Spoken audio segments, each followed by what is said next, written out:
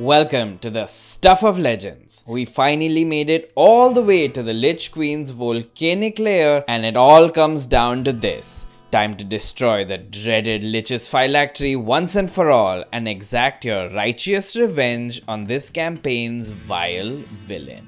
Do you have a song? Do you have a shenanigans dog song? The song that's in my head is incorrect. Give me the beat, girl. Yeah, that's what I want. Yeah. No, that's not. Ooh. Wanna get lost in your rock and roll and drift away, drift away. but that is not the song to destroy a phylactery. uh, let's see. What would be a good kill song? Yeah, there's that hit me with your best shot one. I mean, Drift Away is good. We don't want to stick with that. Killer Queen. Ooh, Killer Queen could be fun because it's a, a Lich Queen. n- okay, we don't have rights to these songs, yo. Oh, that's I don't know what you guys are doing. We could do like the the copyright version. She's she's a murderous royalty. You know what I mean? So you like change the Murderous Monarch. I mean, yeah. that's that would be a good song. Oh, are you guys watching Last of Us? Yes. Oh my gosh. Don't have HBO.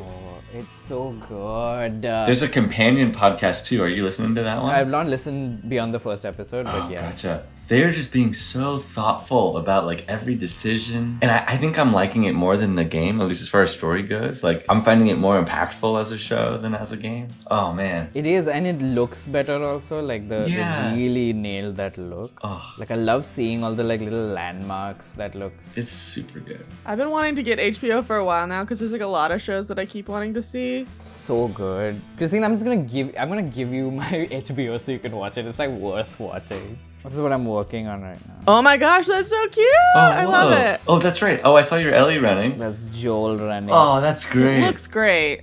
Love the design. oh my gosh.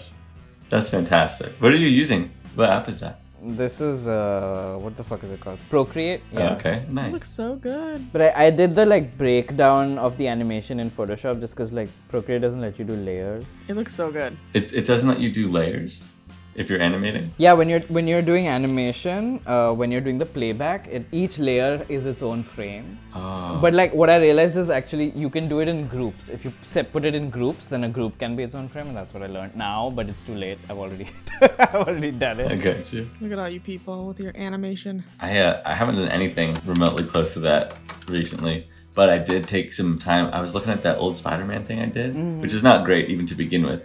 but I was like, why does this feel bad? Kind of like looking at it, and I was like, oh, you know what it is? I I had animated it on like twos, but I put like a camera movement on ones in it. Ah.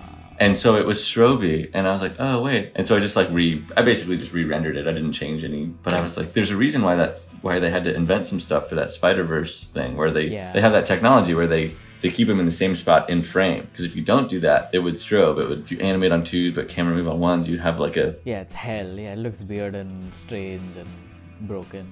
Yeah. yeah.